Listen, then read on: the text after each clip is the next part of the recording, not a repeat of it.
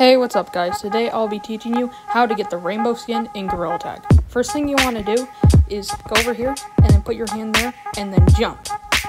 After you do that, you put your hands over here and then push down.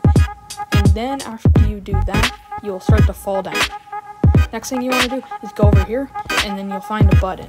And you just, you won't be able to know if you press it, but you go and then, next thing you gotta do, you gotta go over here I kind of forgot where it was here, but you just go to the top there, and then, yeah, you press it.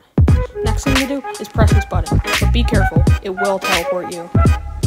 Okay, next you'll get here, just click on balance, and then just leave it, don't close it. Next thing you want to do, you'll go over here, and then make like an L shape. After you do that, the fifth one, boom!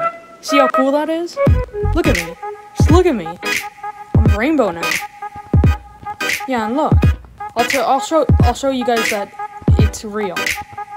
Look, I'll go even Look, I'll show you it's real. Look. No monkey computer. There's no monkey computer. And look at my hands. I have no watch, not even a single watch.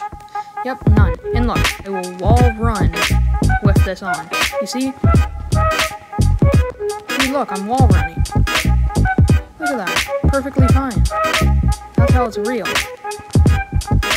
yeah. Hope you guys enjoyed this tutorial. And if you guys like it, then please subscribe and like. And yeah. See you guys later.